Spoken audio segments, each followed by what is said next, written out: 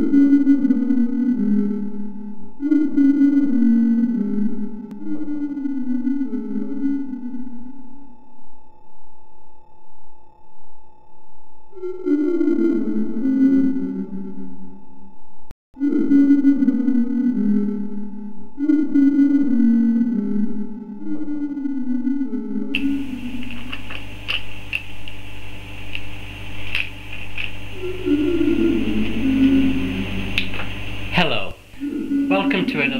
World.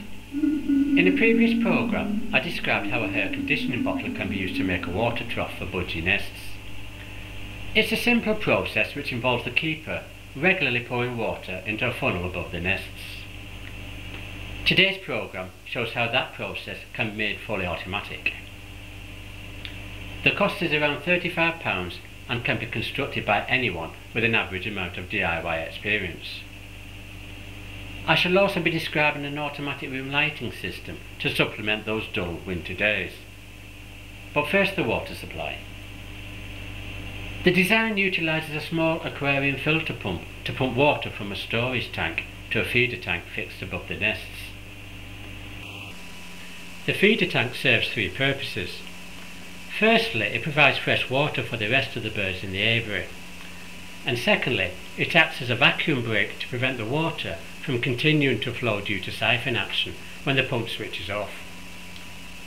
This would be a danger when the nest trough is below the water level in the storage tank.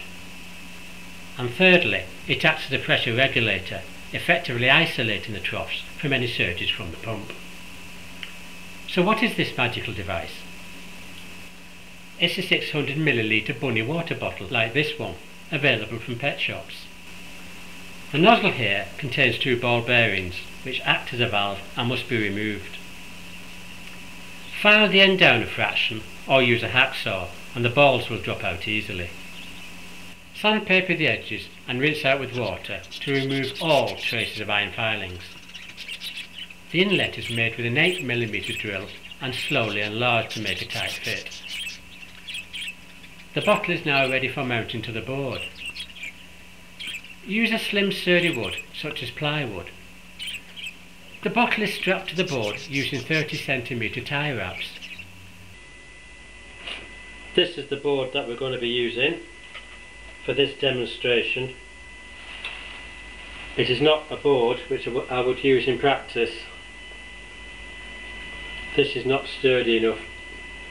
This is in fact hardboard and not plywood. However, for the purpose of this demonstration, it is totally in order. Place the bottle on the board in the position where you, you would like it to be. Nozzle facing downwards.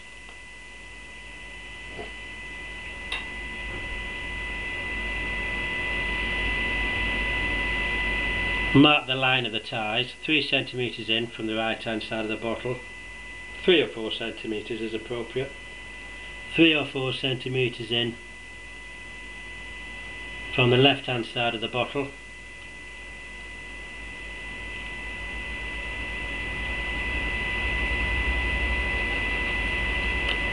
Alright.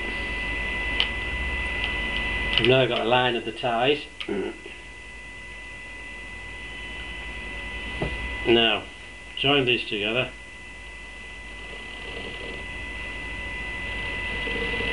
You don't need a ruler really.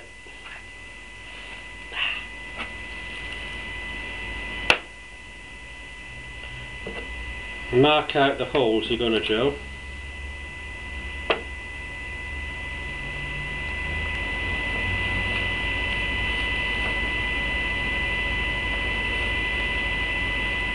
Approximately three cent three centimeters apart.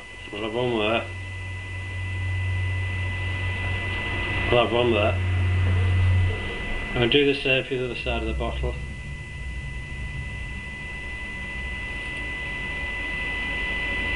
One there. One there. Those are the holes where your ties are going to go through. Now the ties they're five centimeters across, uh, five millimeters across. So we're, we're looking for a drill six millimeters in diameter.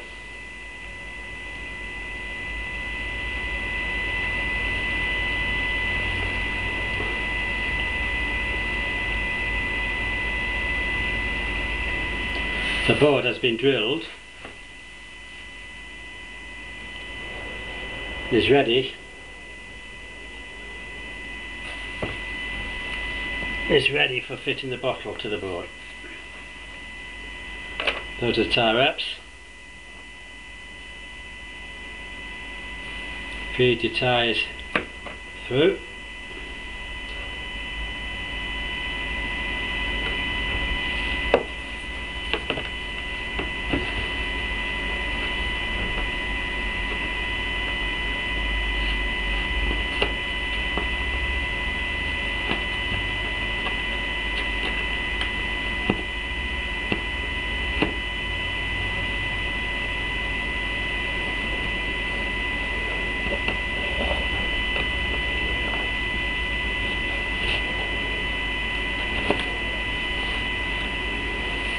Right.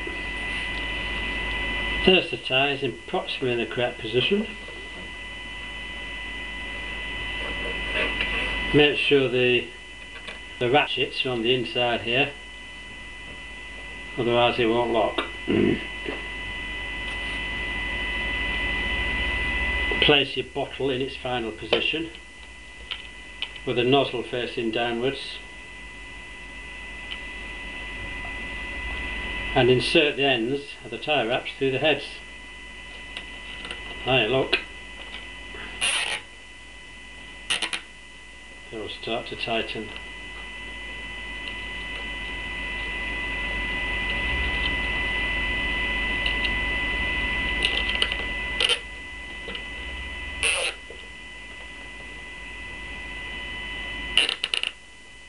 Now here be careful tighten them up at the end. Now that's enough for the moment.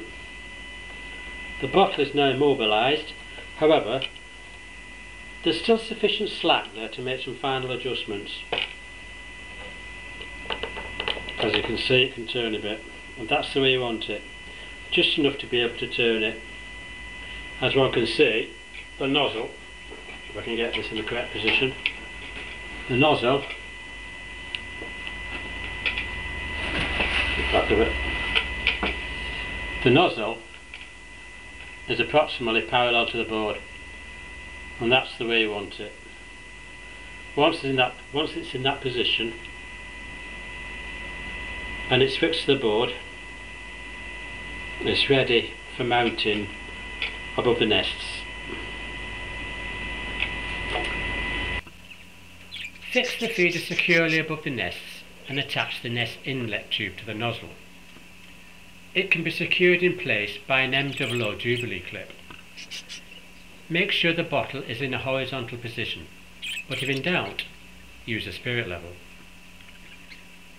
The storage tank can be any ball valve operated storage tank, such as a domestic hot water supply tank as in this case, or even a lavatory cistern. Whatever tank is employed, Make sure that it is first drained and cleaned before use. The filter pump employed is an ALB PF Mini, costing around £15 from pet shops. The outlet from the pump is connected to the inlet of the feeder by a section of 10mm plastic tubing. The length of the tubing is important because it sets the flow rate into the feeder. This is dependent on this length and the vertical distance between the feeder and the pump. Some experimentation may be necessary to get the correct flow rate, which should be around 500 millilitres per minute. In the system described here, the length is 7 metres, which is distributed around the attic. The tube is suspended from the beams on plastic coated hooks and can be secured with miniature tie wraps. Fit the tube to the inlet of the feeder bottle and preferably seal the joint with a plastic welder. Place the pump on the side wall of the storage tank about 10 centimetres below the waterline. This will prevent it from sucking up any debris which may fall to the bottom of the tank. The system is now ready for testing. Having checked the system, plug the pump into the power point and if all goes well, the feed bottle will start to fill up. Shortly afterwards, the water will start to flow into the nest troughs and out through the drain. After ascertaining that there are no spillages, mark the level of the water in the feed tank with a felt tip pen. The pump can now be switched off. Use small sharp pointed scissors to cut out a window in the bottle to provide water for your aviary birds. Make sure the lower ledge of the window is 5mm above the waterline that you previously marked with a felt tip pen.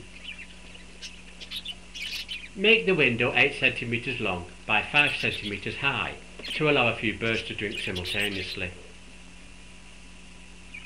Budgies have problems with transparent materials so it is preferable to cover or stain the whole bottle with an opaque substance such as ink or packing tape to give the birds more confidence when drinking. A secure perch must be fitted directly below and parallel to the lower ledge of the window to provide a safe grip. I use a length of 500 amp PVC covered power cable stapled to a side beam. The pump is controlled by two identical 7-day electronic timers connected in series. The first acts as a fail-safe timer and is set to operate for a 15 minute period four times a day. The second timer sets the operating period of the pump, which is one minute four times a day.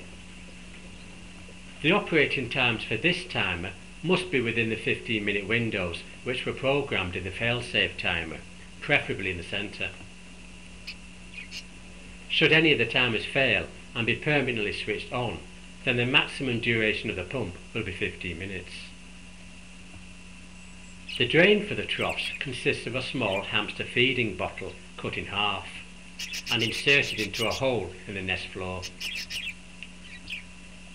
The original design used a 15mm tube which led out to the back of the cabinet and into a 22mm drain pipe fixed over the sink in the bathroom.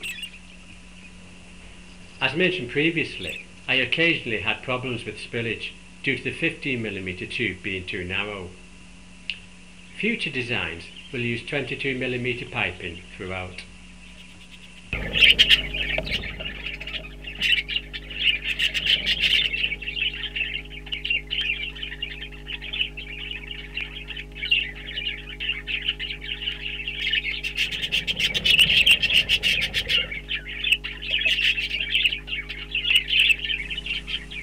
Winter breeding for budgies is not particularly difficult as they don't have any set breeding patterns. However, artificial lighting must be provided to supplement the poor natural daylight that we have in winter. The lighting must be strong, well balanced and distributed around the room. There are many designs for lighting, so I'll describe the one adopted for the indoor aviary, which is in the attic. The main lighting for the room which measures 13 foot by 9 foot 6, is provided by a 60 watt bulb fitted with a reflector. This is necessary because the reflection characteristics of the roof material are poor. This lighting is supplemented by two 50 watt mains downlights positioned on the rafters. These use halogen bulbs which are more rich in ultraviolet light than standard bulbs and produce a spectrum closer to normal daylight. An individual 60 watt spot lamp is used to illuminate the breeding pen in the corner. All the lights are controlled automatically, apart from a 10 watt night light which is on permanently. Various lighting regimes are possible. One is to let the birds experience a natural dusk and to start the artificial day at 1 or 2 o'clock in the morning. The dusk is important for food collection as it gives the birds advance warning of the night to come. An alternative approach is to allow a normal dawn and dusk and to break up the long night with artificial lighting for about an hour. This gives the hens an opportunity to leave the nest and also to stock up with food along with the rest of the birds. Switching the aviary lights off during darkness hours is potentially dangerous, even with a permanent night light on, so a special auto-dimming circuit has been designed which reduces the lighting slowly and is preceded by an audible warning. It's a simple circuit which can be constructed by anyone with practical experience in electronics. At the moment of switch off, which is set by a 7 day timer, an audible tone is produced from an internal buzzer. 45 seconds later, the lights start to dim. After a further 45 seconds, the lights are fully extinguished. Owing to the simple nature of the design, the dimming time period is restricted to a few minutes. A more sophisticated design is being developed to allow the dimming to take place over an hour or so to mimic a natural sunset. Well, sadly, this is the last programme in this series of Avian World. In the next series, I'll be covering, amongst other topics, the construction of a sophisticated hospital for your sick birds. Also a homemade incubator costing less than £25, and I'll be dealing with the behaviour of birds. Well, I hope you've enjoyed this series of Avian World. Until the next time, goodbye.